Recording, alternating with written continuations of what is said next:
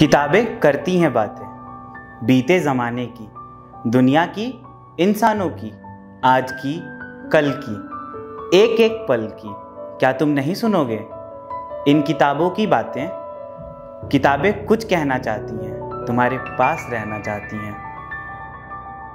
सफदर हाशमी की ये कविता हमें बताती है कि किताबें हमारे जीवन में कितना अहम किरदार अदा करती हैं। और यही बात उत्तर प्रदेश के मुख्यमंत्री योगी आदित्यनाथ की एक अपील से भी सामने आई है।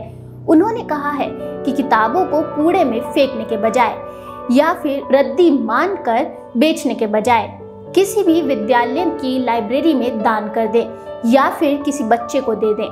अच्छी पुस्तकें जहाँ भी मिलती हैं, प्रकाशन मिलती हैं, उसको हमें अपने पास रखने का प्रयास करना चाहिए। अगर हमारे पास व्यवस्था नहीं है तो कम से कम हम अपनी अच्छी पुस्तक लाइब्रेरी में देने की आदत भी डालें। पब्लिक लाइब्रेरी में, स्कूल की लाइब्रेरी में। अब जैसे आप हाई स्कूल पास करने के बाद अगली कक्षा में जाएँगे।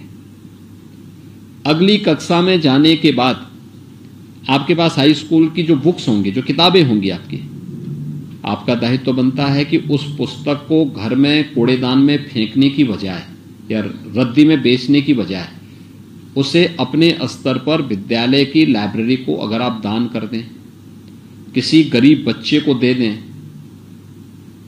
ये आपको और अपने अभिभावक की सहमति से इसको आगे बढ़ाना चाहिए। कई बच्चे पढ़ सकते हैं।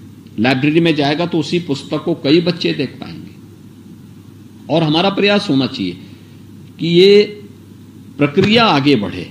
दरअसल योगी आदित्यनाथ ने अभी हाल ही में मेधावी विद्यार्थी संवाद 2022 के अंतर्गत आज के दिन यूपी बोर्ड की दसवीं की परीक्षा में उत्तीर्ण हुए लखनऊ के 10 मेधावी छात्र, उनके शिक्षक और अभिवक्ताओं के साथ एक संवाद किया, जिसमें उन्होंने पाठ्यक्रम, परीक्षा बेटा बेटी में भेद ना करना और माता पिता के संस्कारों की कीमत बताते हुए कुछ ऐसी ही बातें की।